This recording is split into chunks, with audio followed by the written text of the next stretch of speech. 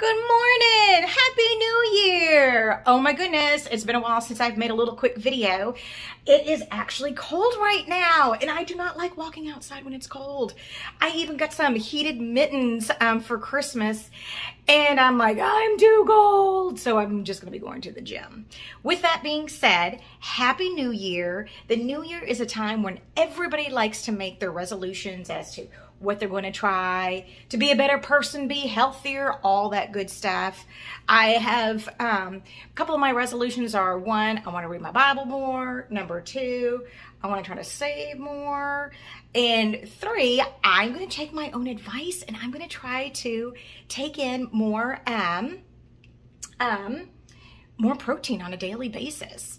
And so, you know, I feel like every time that I'm seeing my patients, they're always giving me new ideas and new options for protein. I've done a video um, in the past on different ideas.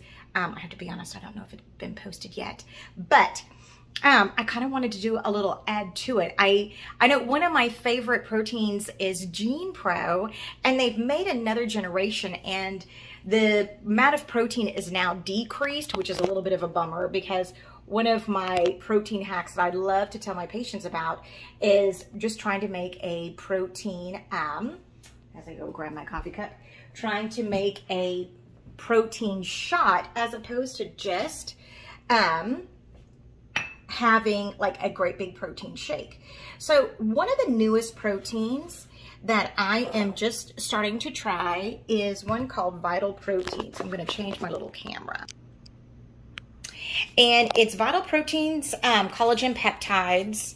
And just so that you guys know, I'm, I'm, not getting paid for any of this stuff. This is just ideas that I've gotten from my patients that I like to share. So you can see for per scoop, it's 20 grams of protein. There's a bunch of collagen, and then you have this whole amino acid profile. And um, what I do with this is I just put a scoop in my coffee. Now, I'm going to be very honest with you guys. I, the very first time that I made it, I made my coffee. I put in two scoops of my vital protein. And what do you know? I um, had a bunch of um, loose bowel movements. that is not what y'all want to hear. But I think in the beginning, doing just two scoops might be um, maybe a little bit too much.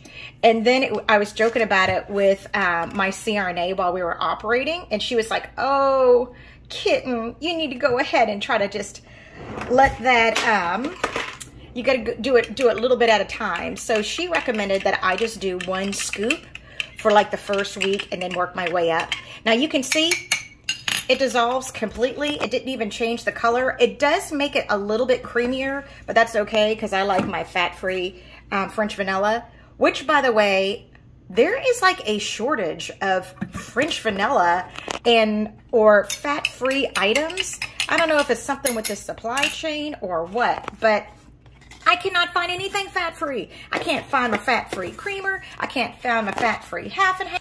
I mean, that is what the real pandemic is. I'm like, I need my fat-free creamer. There's literally one grocery store here near me that will have this fat-free creamer, which by the way, I need to go to the grocery store and get today. And whenever I go, I literally will buy three or four bottles. So um, let's try it. Tastes good, tastes good. So number one, what does this taught me? If you do two scoops of this collagen peptide and you have a problem going to the bathroom, maybe just starting off with two scoops will do you right. Number two, if that is not an issue, you may want to start off with just one scoop. Number three, um, this would probably be another good option for you if you're wanting to make a protein shot because again you saw that it, it dissolves completely. Um, it doesn't mean that you can't also still do that with Genepro.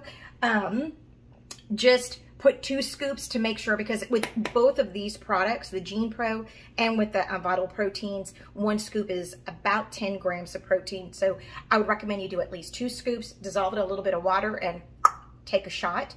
Um, what is one other, um, oh, there's another new protein that's on the market too, and that's um, Fairlife protein drinks. I know that y'all have heard me sing the praises of Fairlife milk, which I love, and let's see if I have some in the fridge. Do I need to go to the grocery store? Oh yeah, see? Yep, can you tell? I always have a bunch of Fairlife in the fridge. And um, they did a little thing. Um, I had to get the one with DHA. I always get the 2%. Um, anyway, um, let me see. So, um, but Fairlife Milk, they now have a protein drink. A lot of my patients really, really like that. And I've told them, I'm like, hey, if that's too creamy, just drink the milk. And they're like, nope, we love it. So, um, let you guys let me know what your ideas are um, on different types of protein. Um, I'm going to be making another video here shortly just on um, how to reincorporate these New Year's resolutions so we can get to a happier, or not necessarily happier, but definitely a healthier you for 2022. So try Vital Proteins, um, try making a protein shot, and um, let's get those New Year's resolutions going. Okay? Bye.